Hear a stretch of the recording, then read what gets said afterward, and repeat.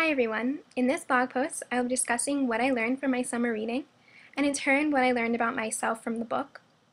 Then I will go into how I applied what I learned into my own life, and finally whether or not I would recommend this book. So this summer as an incoming freshman for FDDS, I only had to read one book, and that was Mastery by Robert Greene. One of the main things that I learned is that achieving mastery is feasible. I'd always thought of the works of Benjamin Franklin, Albert Einstein, Marie Curie, and other masters to be almost entirely unattainable. As Robert Greene states, this is society's predominant viewpoint of masters. People think they can only be these rare, egotistical geniuses whose success can be amounted to sheer luck.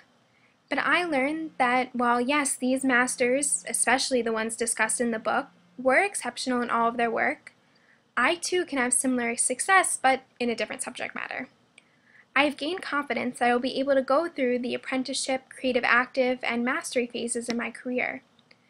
Of these stages, I currently would consider myself to be in the pre-apprenticeship phase, so not even at step one.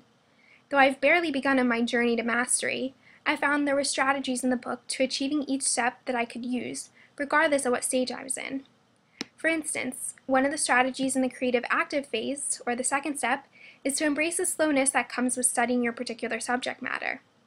This idea is simply relevant to doing work at school. When you're taking your time on, let's say, a paper, and it seems that it's taking forever because you're going through so much information, you should embrace the slowness of this process. All of the work that you are putting in is making your paper that much stronger. I am trying to apply this concept to my life, as it is especially relevant because I can be rather impatient. Now when I am working on something and is taking longer than I expected and I'm starting to get frustrated, I take a step back and a few deep breaths. I remind myself that the slowness is only for my ultimate benefit. This is actually working out pretty well for me. Another useful strategy, also in the creative active phase, is to read material outside of the discipline you are studying. I feel this is particularly important because increasingly fields of study are becoming more and more interrelated. Though public health will most likely be my ultimate field of study, I enjoy learning and researching other topics. Now, whenever I want to read about something that seems unrelated to my life, I encourage myself to read it anyways because it might end up being relevant. From reading this book, I was actually able to learn things about myself, primarily through self-evaluation. Something that is stressed in the book is to understand my strengths and weaknesses. As such, this book pushed me to do some self-evaluation about my own strengths and weaknesses.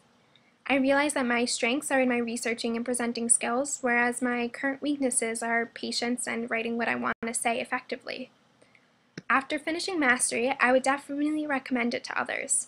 I feel the most useful time to read it is in or before college or starting a new career. It allows you to have a tentative roadmap in your head on how you are going to be able to achieve success. One of the things I really enjoyed about the book was how it gave a step-by-step -step process on how to achieve mastery. I have to think things through very logically and would much prefer to have set directions to get things done. So the format of this book and the subject matter really resonated with me. Thanks for watching.